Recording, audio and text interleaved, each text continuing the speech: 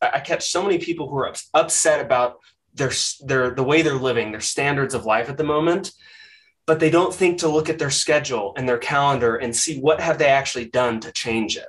Whatever your life looks like, whatever results you have or don't have in your life are a direct reflection of you and the work that you've put in or chosen not to put in. I grinded every waking moment from Sunday until Friday night at 6 p.m., right after our last info. And from Friday at 6 p.m.